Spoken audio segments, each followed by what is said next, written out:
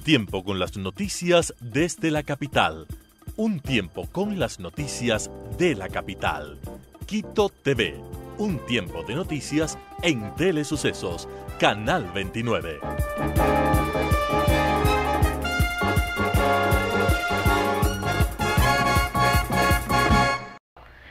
Este día damos la bienvenida al programa Quito TV a Carlos Andrés Vera, quien es el candidato a concejal por el Distrito Centro de la capital, de la mano con Juan Carlos Dolguín del Movimiento Creo, quien desea llegar a la alcaldía de Quito.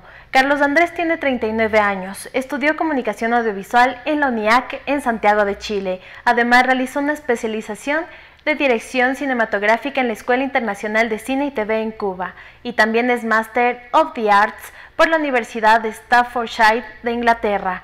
Cabe mencionar que no ha ejercido cargos públicos, más bien ha sido crítico de algunos funcionarios, tal es el caso que en mayo de 2018 publicó un documental denominado Propagandia, donde Vera realiza un análisis crítico de la estrategia comunicacional usada por el gobierno del exmandatario Rafael Correa. Decidió postularse a la Concejalía de Quito porque considera que tiene un compromiso por su ciudad, para el servicio y aporte desde su experiencia y con pleno conocimiento de causa que no son propias, sino preocupación de muchos. Destaca que se concentrará en temas ambientales, de sostenibilidad, de participación activa de la ciudadanía, culturales y de educación en emprendimiento y economía creativa. Le recordamos que puede interactuar con nosotros a través de nuestras redes sociales, Twitter Telesucesos 29, Facebook Telesucesos Quito. También puede encontrar todos los programas de Quito TV en nuestro canal de YouTube, Telesucesos HD. Ahora vamos a conocer más acerca de Carlos Andrés Vera.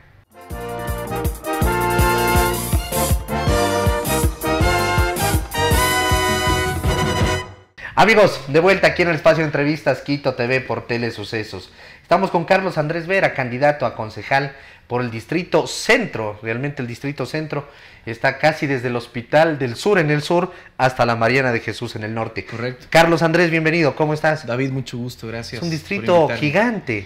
No solo, pero no es más que gigante, es el mejor distrito, creo yo, del país, porque tú en ningún otro lugar, ni de la ciudad ni del Ecuador, concentras tantas manifestaciones, sobre todo de cultura. Piensa tú en la Mariscal y en su oferta cultural y de entretenimiento, piensa tú en la Floresta, piensa en la Vicentina, piensa en el centro histórico. El San resumen de Juan. Quito está en el centro, en este Quito distrito. es ajá. el distrito centro. E- Eso que entendemos como quiteñidad, es el corazón de la Tú ciudad. has trabajado en la floresta casi toda una vida. Toda la vida he trabajado en la floresta.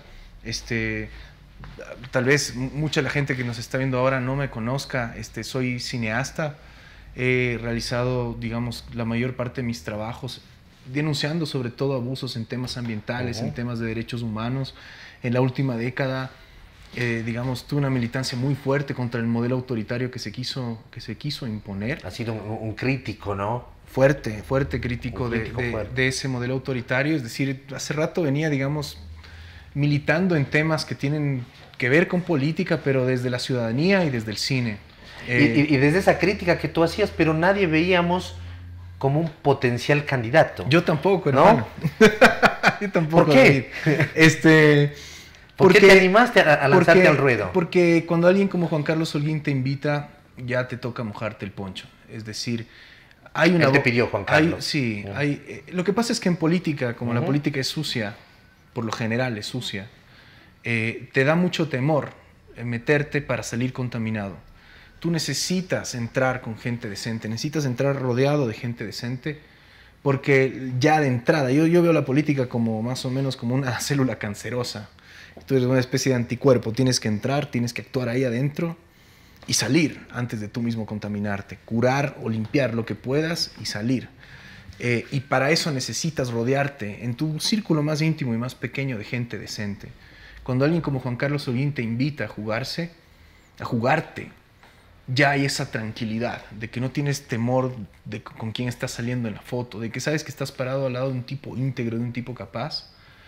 Y entonces vienen las otras cosas que te hacen ilusionarte. Estábamos hablando de, de lo que se puede hacer en el distrito y del potencial del distrito. Primero recuperar el, el- el Consejo Metropolitano, que se ha visto afectado por un sinnúmero de, de cosas Bueno. que van desde grilletes a líos de faldas, etcétera, El, etcétera. el- uno de los temas por los que me han cuestionado un poco en redes sociales, eh, gente que está muy ensimismada en el aparato burocrático del municipio, es que yo he dicho varias veces que a mí me parece inmoral que un concejal tenga más asesores que un asambleísta. Me parece inmoral. Además, ¿Cuántos asesores tienen? Entre cuatro y seis, más chofer. Este, tienes tienes eh, tres o cuatro fijos, dos eh, que pueden ser transitorios o temporales, más chofer. Este, y, gente que está, digamos, obsesionada con este aparato burocrático me ha dicho que eso es lo que necesita un concejal.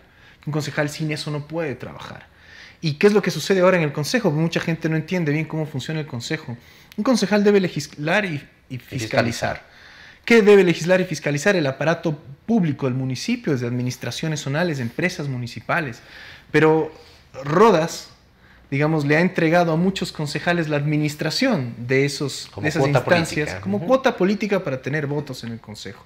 Entonces tienes concejales que, que, que, administran aquello que deben fiscalizar. Es como si un asambleísta estuviera fiscalizando Petroecuador. Es una estupidez, es ridículo. Y, por supuesto, es una puerta abierta a la corrupción. Segundo, hay esta, desde la época de Barrera, esta concepción de que de que el municipio tiene que estar repleto de funcionarios, repleto de burocracia.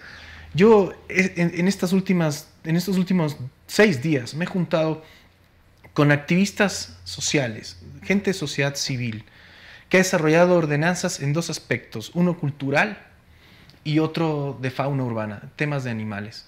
Gente que viene trabajando seis, siete años en ordenanzas que la ciudad podría aplicar de inmediato para resolver temas que tienen que ver con cultura en este caso y con fauna urbana, por ejemplo. ¿Son ordenanzas que se han aprobado? No, son proyectos de ordenanzas que vienen desde los ciudadanos. No han sido acogidas por el Que no han sido acogidas. Entonces, para mí, un, concejal no, no tiene que ser una máquina de ordenanzas. Un concejal tiene que ser un puente entre sociedad civil y, y el municipio, porque la sociedad civil hoy está tan organizada que lo que necesita es gente que pueda hacer ese vaso comunicante entre eh, la sociedad y el, y el, administrador. ¿Qué sucede ahora? Llegan los concejales, se, encierran en sí mismos, en estas oficinas llenos de asesores, empiezan a, inventarse lo que no necesariamente hay que inventarse, porque ya está inventado por los mismos ciudadanos, y entonces demandas una burocracia para ti pesada. A mí eso me parece inmoral y además me parece innecesario. Yo he dicho que voy a tener un asesor fijo, que tiene que ser un asesor legal, seguramente para temas muy puntuales, trabaje con asesores específicos en temas específicos. Y el chofer, usaré el chofer del municipio, porque hay choferes de carrera dentro del municipio, no necesito mi propio chofer para que me lleve de la casa al municipio, del municipio a un barrio X, cuando tengas que, ir a, reuniones con, la gente de los barrios. Es decir, eh, me parece que simplificando y también devolviéndole un poquito de ética al trabajo de un concejal, se puede hacer lo que se tiene que hacer. Estando conectado con la que hacer, ¿no? Reorganizar ese aparato eh, burocrático, sobre todo el, de más alto nivel, digamos. Hay, que, hay, que, hay, que, hay que administrar con ética la ciudad. Ojalá Juan Carlos Holguín sea el elegido, porque si no, si yo llegara a ser elegido y Juan Carlos Holguín no es el elegido, me va a pasar peleando, porque yo no he visto que los otros candidatos que, tienen posibilidades de administrar la ciudad, de ganar, tengan un interés de verdad real en reducir no solo el número de funcionarios, sino en reducir la corrupción. Y tú ya ves, y tú ya lo ves por cómo se van comprometiendo desde antes con un montón de mafias que están controlando la ciudad, mafias del transporte, por ejemplo. Entonces, cuando tú ves candidatos tibios, este, con posturas tibias respecto a problemas serios como las mafias del transporte, tú ya ves que no hay intenciones reales de cambiar. ¿no? Quito tiene que administrarse con los ciudadanos en mente y no con, no con estas mafias en mente. Entonces, eh, espero que gane Juan Carlos, porque si no me va a tener que estar fajando ahí dentro del Consejo contra esta visión, no solo burocrática en exceso, que a mí me parece inmoral, insisto, mucho más considerando las finanzas del municipio, sino también esta visión de que los concejales van al consejo para hacerse millonarios. Eso, eso no puede seguir más, eso es, obviamente es inmoral y es absurdo. Tú dices, esperemos que gane Juan Carlos. ¿Está dura la lucha? Por supuesto que está dura. Son, hay más de 18 candidatos. Juan Carlos es obvio, no es un tipo famoso. Este no es, eh, no es el candidato más conocido y él tiene el desafío pues de darse a conocer en muy poco tiempo con una competencia además con un abanico Él ha de hecho candidatos cosas que son exitosas, pero ha estado detrás de, ¿no? Por supuesto. Entonces es una No, persona no, que no, no la conoce. No es un tipo conocido en ese sentido, pero sí te voy a decir dos o tres cosas que son vitales. Es el único, y, y te lo firmo, es el único candidato que tenía un plan antes siquiera de ser candidato, un plan de ciudad elaborado hace más de 19 meses, porque él se lo ha tomado con responsabilidad. Un plan elaborado no solo con participación de gente de sociedad civil y personajes que han estado en la política, como Fabricio Villamar, como Lucelena Coloma, sino también por economistas urbanos, por urbanistas. Es decir, él se tomó la tarea de hacer un análisis de qué es lo que pasa en Quito y cómo solucionar muchísimos de los problemas de Quito. Yo pude ver ese plan hace más de un año en una, reunión ejecutiva en donde Juan Carlos se lo presentó a Guillermo Lazo y entró de alguna manera a pelear esta, esta, este puesto por ser el candidato de Creo a la alcaldía. Él tenía un plan para la ciudad hace más de un año y yo lo, yo lo pude ver, por eso también me subí a ese vehículo. Ningún otro candidato lo ha hecho así. Primero ellos deciden ser candidatos y en dos o tres meses se inventan qué van a hacer con la ciudad y no te lo puedes tomar de forma tan irresponsable. Nuestra fortaleza es esa propuesta y esa propuesta está en juancarlosolguín.com. Todos los que usen internet pueden entrar y, darse cuenta, darse cuenta de que es una propuesta seria y que ha sido seria, sí, responsable con la ciudad, una ciudad que o se administra bien o colapsa. No hemos hablado en, esta entrevista de cosas puntuales porque indudablemente propuestas eh, de cosas puntuales, de obras, etcétera, etcétera, a veces se cae en, la- en el tema de la demagogia. Eh, quiero preguntarte, porque tú has estado mucho peleando y que has sido un crítico, como lo dijimos al inicio de la entrevista, del tema ambiental. ¿Qué hacer en Quito desde ese punto ambiental? ¿Qué es lo primero que hay que hacer? Es una ciudad sumamente contaminada. Vamos a llegar a niveles como ya pasó en Santiago de Chile o como está pasando ahora en Bogotá, donde tenemos que suspender el tráfico, seguramente un pico y placa de todos los números durante dos o tres días. ¿Qué hacer?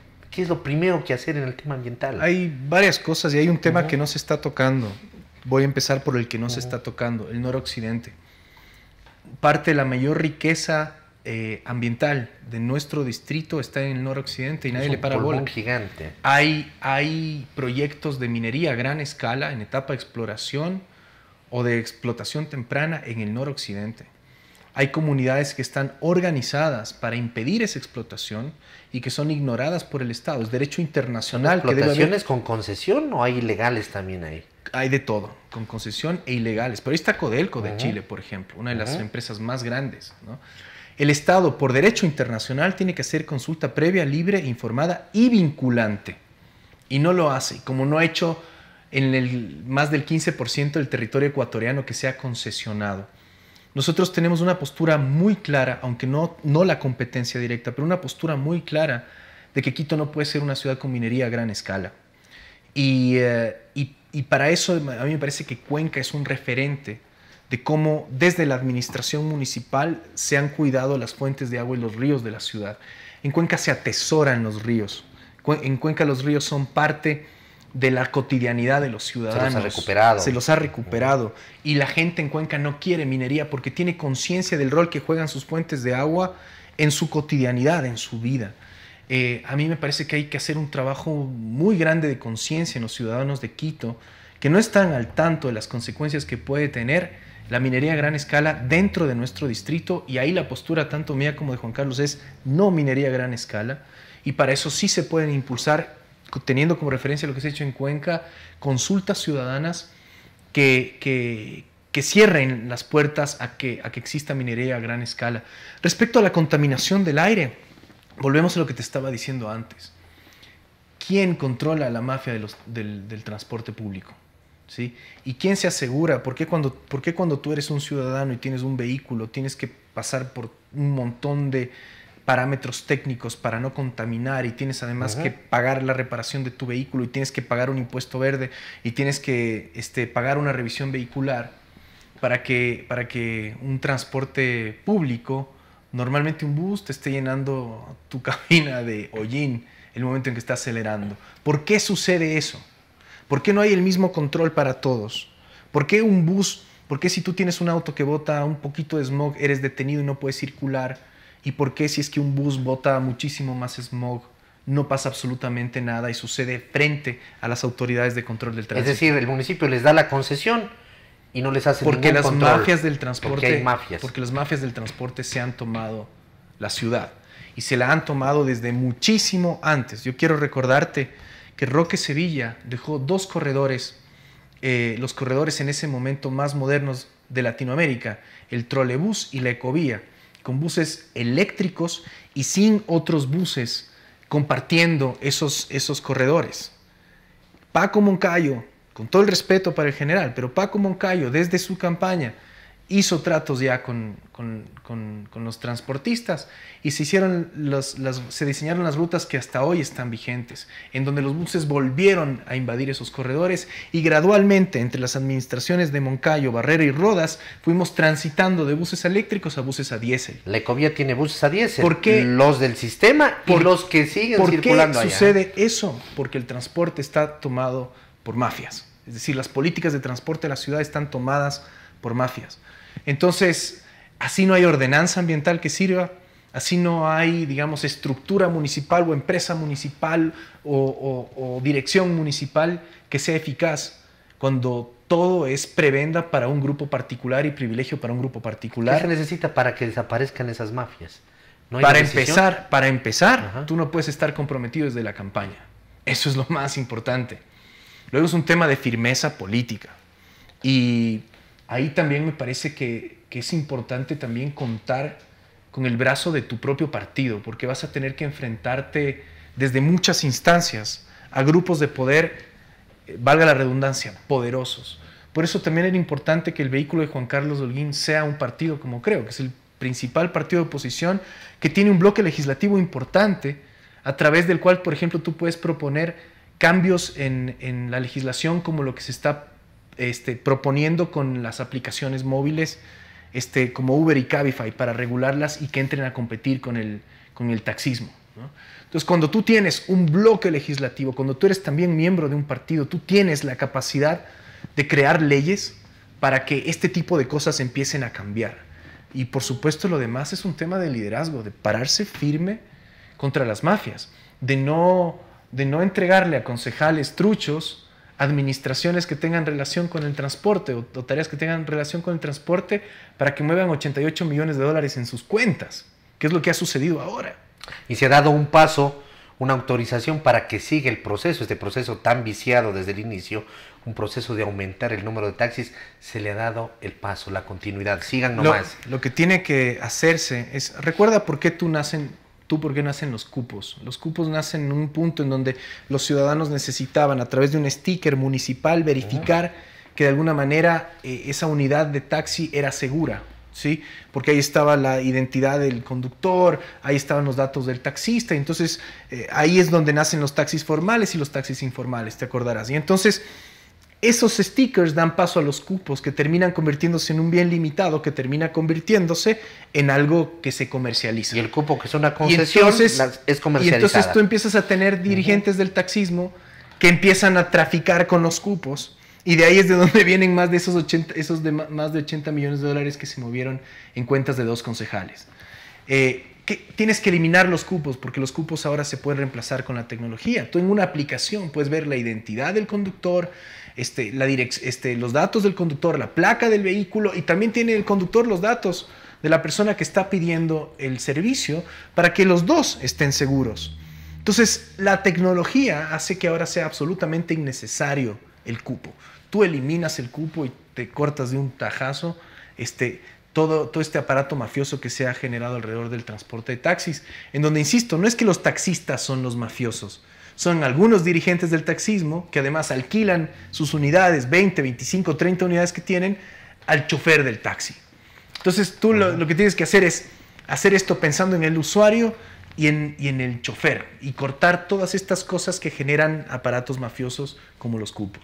Carlos Andrés, para finalizar, habría que exigir al actual Consejo Municipal que frene cualquier tipo de concesión, ¿no? Cualquier tipo de concesión en el tema de transporte público, en transporte de los taxis, para que el nuevo Consejo, ¿no? Sea quien sea, con la gente que llega se puede hacer un nuevo análisis. Sí. Posiblemente no nos tomarán en cuenta porque ya deben de haber compromisos. Este llamado no será tomado en cuenta No porque lo sé. compromisos. Eh, sí que me hay preocupa que hay un montón de cosas que se pretenden hacer a última hora. También desde la prefectura, ojo, dejar firmados contratos de mega obras que seguramente la ciudad no necesita.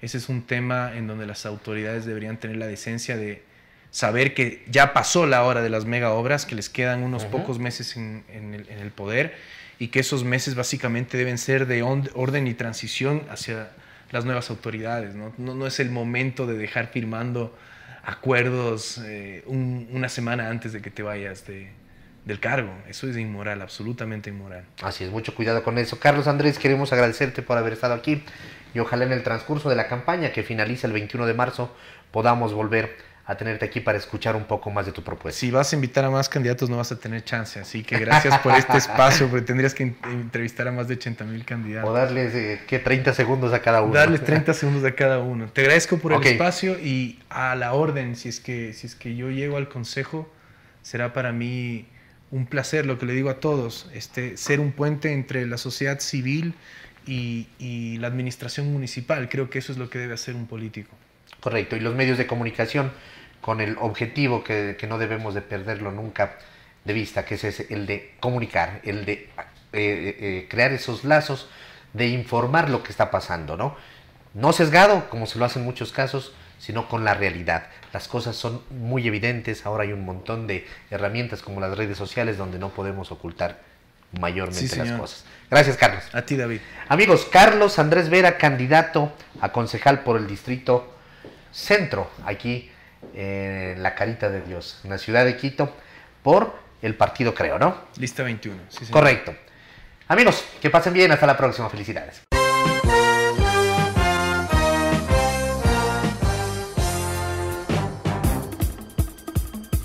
Un tiempo con las noticias desde la capital. Un tiempo con las noticias de la capital. Quito TV. Un tiempo de noticias en Telesucesos, Canal 29.